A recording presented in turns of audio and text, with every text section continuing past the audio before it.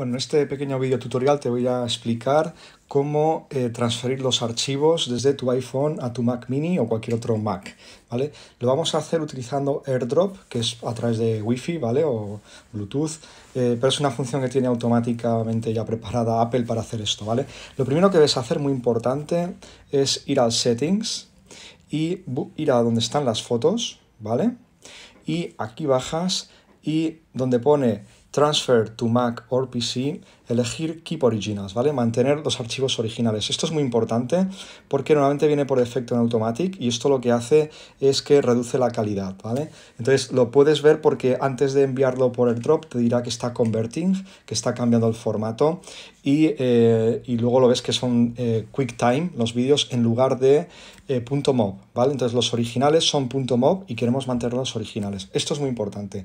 Una vez que lo tenemos ya nos vamos al camera roll, que es esto aquí, y en cualquiera de los, esto es un vídeo, ¿vale? Que tengo, o cualquiera de los vídeos que haya, tú le das a la flechita esta de subir aquí arriba, y aquí ya marcas con el, todos los que quieras, ¿vale? Con esto azul vas marcando los que quieras transferir, ¿vale? Y una vez que lo has hecho, le das aquí donde pone airdrop, y ya está, ¿vale? Le pulsas ahí y pone waiting, y ves que ahora pondrá sending, es decir, no ha puesto converting, sino directamente ya lo está enviando al Mac Mini. Y bueno, pues lo que tarde, ves que sale ahí una rayita azul que está girando alrededor del simbolito y una vez que haya dado la vuelta entera, ya tienes en la carpeta de downloads eh, o de descargas en tu Mac Mini eh, tus fotos y vídeos, ¿vale? En su calidad óptima, ¿vale? Que es como tú lo has capturado en el iPhone.